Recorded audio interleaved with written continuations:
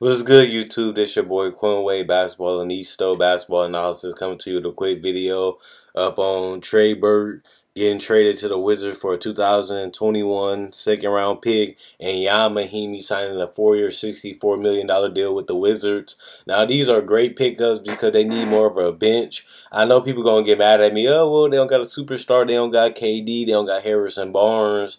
But I do think that this is a good pickup because they do need depth.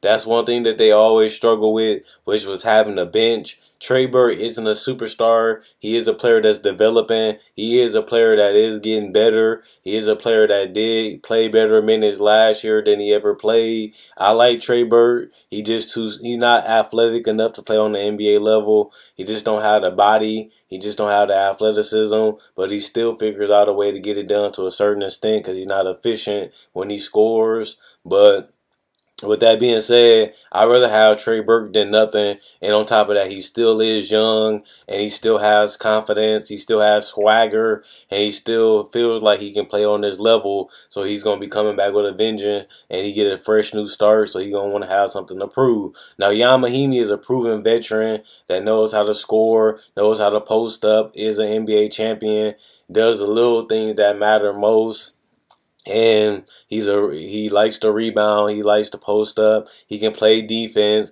He is another big that can go under Marcin Gortat. Like I said, this is for depth because they get him on a cheap, affordable contract. Got the same deal as Mozgov. He plays the same role as Mozgov. The, they just needed another center and another power forward just in case somebody get injured or just in case somebody. Uh, just can't stay healthy in the playoffs. They have another backup plan with Ian Mahinmi, who is a proven veteran, like I said. So I like these two pickups for depth.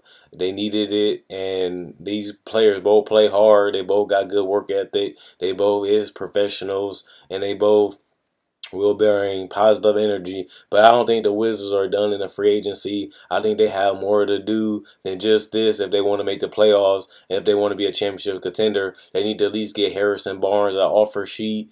They need to at least uh, try to find John Wall or the CVS. Yeah, Otto Porter is too because he has to develop quicker for this team because they didn't even make the playoffs last year. That's how rough the East is. Remember, I told you guys the East is only getting better. Detroit is better. Toronto is better this year.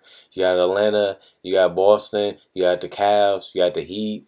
You have so many teams that can. You got so many teams that can make the playoffs this year just in the East. The NBA is getting tougher. The the talent pool is up. People kept trying to say that the talent pool was down. The talent pool is up because the East and the West are both stacked now uh, when it comes to talent. Let me know what you guys think. Comment, like, subscribe, and share. Look at my uh, Facebook fan page, analysisplayground.com. There you can find the same videos you find on there, but I just want you to support the, the fan page by liking it. Also, go to my website, analysisplayground.com. Sign up for the newsletter there. You can get notifications when there's new videos on the website. Also, you can get uh, NBA breakdowns, NBA tributes, and NBA rookie analysis with, with real game footage breakdowns exclusively only up on analysisplayground.com.